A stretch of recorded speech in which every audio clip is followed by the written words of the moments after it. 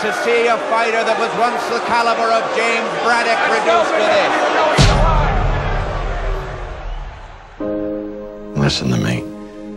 Your legs are getting heavy. You're too slow. It's over. Just give me another fight, Joe. What's done is done. Not always. I'm sorry, Jimmy. I'm always behind you.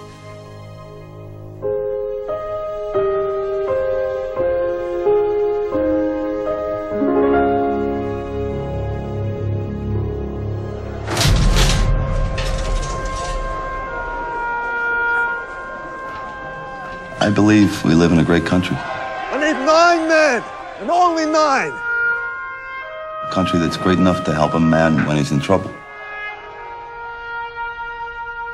I had a run of bad luck.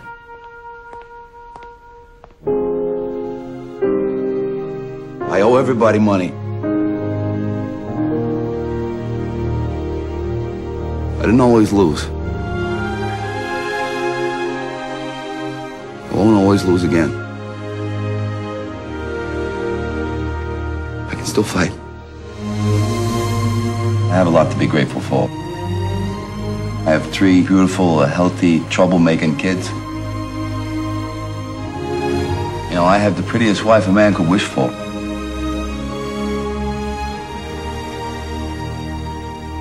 We live in a great country. I guess I'm, I'm grateful for the opportunity. I know that these days not everybody gets a second chance.